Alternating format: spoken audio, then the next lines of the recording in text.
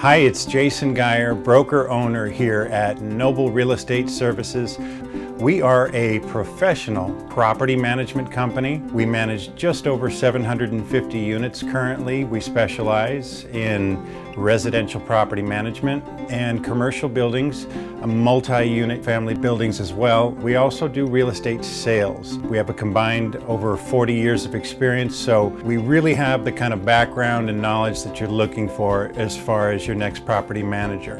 Our commitment is that once you hire us, you let us do the flying and you get your life back. We do the tenant screening, we execute rental contracts, we do the debt collections and evictions if needed. So that means we'll go to court on your behalf and regain possession and seek a money judgment if that's the case, as well as paying our owners electronically each month with a direct deposit. We offer full accounting services for your convenience and year-end tax reporting documents.